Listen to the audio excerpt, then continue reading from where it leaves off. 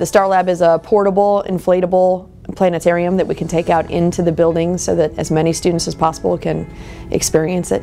The Star Lab sounds like it's just astronomy, but there's there's many different facets that we can use it: um, biology, geology, even physics. Each trip in the Star Lab is led by a teacher who guides students in deep thinking while they experience phenomena they typically wouldn't experience during the school day. The students get to go into the Star Lab.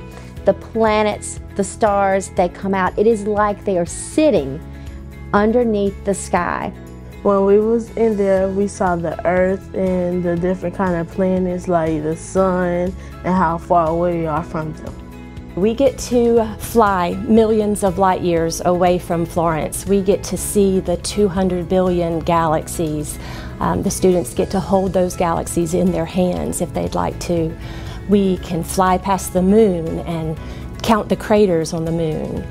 When I got inside the Star Lab, it looked like well, I was inside a, a spaceship, a real spaceship. I kind of was a little scared, and it looked real because we were going higher and higher. When I first went in there, I was amazed. I thought it was pretty cool. For our students, they get to take that learning and they get to go to their own backyard. So if they've learned about a certain planet, they may look up at the sky in their yard and say, oh, I learned about that. While immersed in a sky full of northern lights, for example, the teacher and students can interact with the content in all three dimensions of science instruction. Despite the name, Star Lab is used with a variety of content areas, from the obvious astronomy to geology, biology, and even physics. This year, South Carolina has transitioned into the new college and career ready science standards. Students in kindergarten through eighth grade are now learning life science, physical science, and earth science every single year. The Star Lab program is adaptable, so we can have a program that is geared towards kindergarten, but then we can get more into depth, into more of the physics, the physical science part of it that comes more into play in your middle school and high school years. With any learning, I think it's important that you have the actual experience. Um, you can read about it, but until you see it and you experience it, I think it it invites that curiosity to learn more. I think the most important thing about the Star Lab is that students get to learn the concepts in the classroom and then they get to experience it in an immersive way within the planetarium. The students are learning about moon phases, so we can incorporate that in the STAR Lab so they can see the moon phases up close and personal.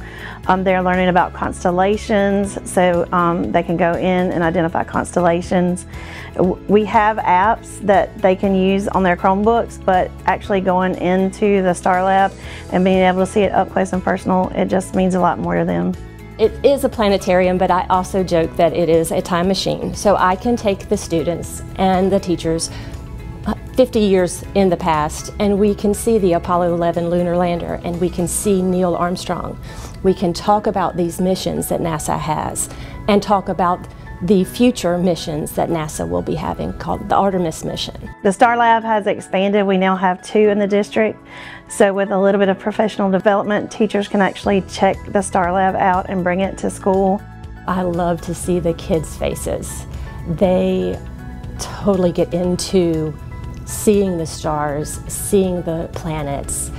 It was a bunch of pretty stars and a bunch of planets. I like to do it again and I like to see the the stars, all the stars in the sky. Florence One Schools has remained a step ahead by providing experiences like the Star Lab, always putting our students first.